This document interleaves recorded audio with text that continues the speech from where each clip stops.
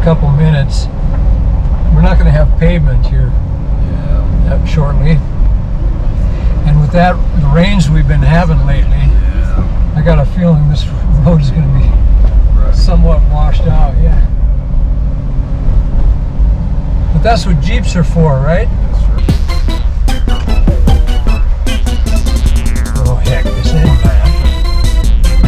Yeah, we have the advantage of being right nestled right up against the mountains, so it doesn't take us long to hit the high country. You guys haven't even asked me yet how long I've been doing this.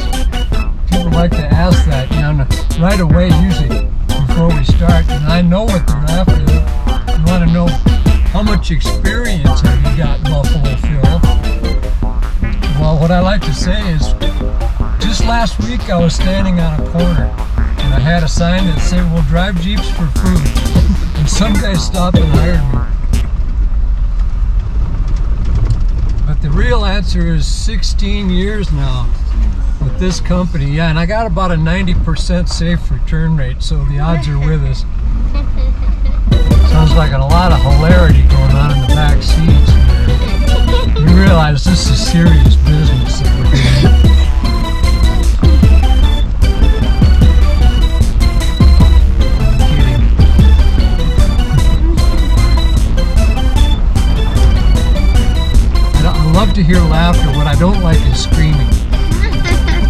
Guess that's kind of up to me, isn't it?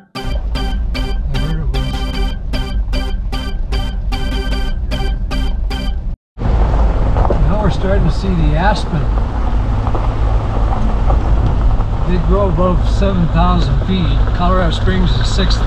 So unless you transplant them, we don't see too many national aspen in the city. Those are the trees that turn bright gold in the fall.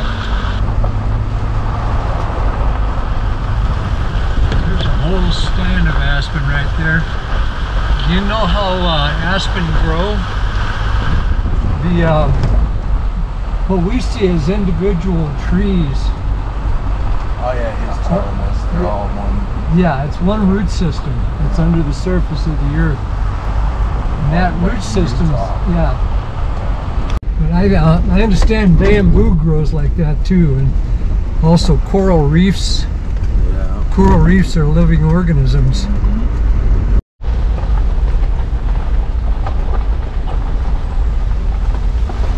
I have a connection with Cripple Creek. Um, I used to be a newsman, and I was the editor of a Cripple Creek newspaper for a couple of years. But before you start making wisecracks, it was not during the gold rush, okay? I might look that old, but I'm really not. So right down below us is the Broadmoor that we came through. And way out there, about 100 miles east of us, is Kansas. Just beyond the horizon there. Boy, just wait till we get to the bumpy part. Okay, let me tell you a little bit about this road that we're on. Like I say, it's called the Old Stage Road. And um, please listen up because this is a safety briefing, okay? Um, you might have noticed that we don't have pavement anymore. And did you notice that we don't have a guardrail? Did you see the big old drop off at the edge of the road? Okay, I always tell my passengers here, you know,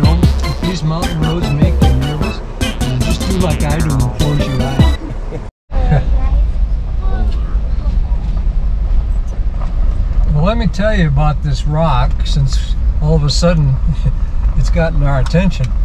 Um, this rock is called Pikes Peak Granite.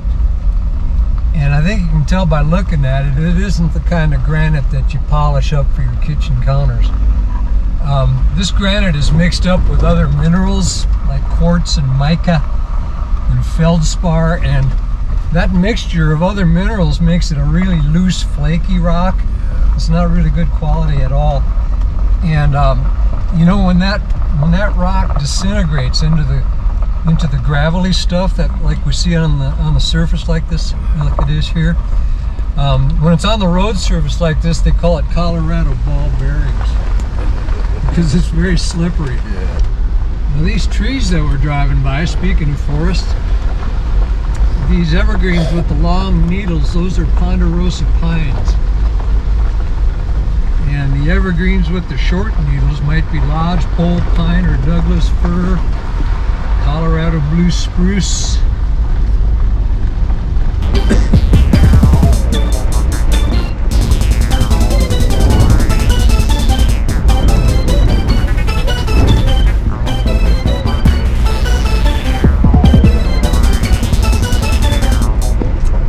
Okay, here's our destination. See a beautiful view of Colorado Springs right here.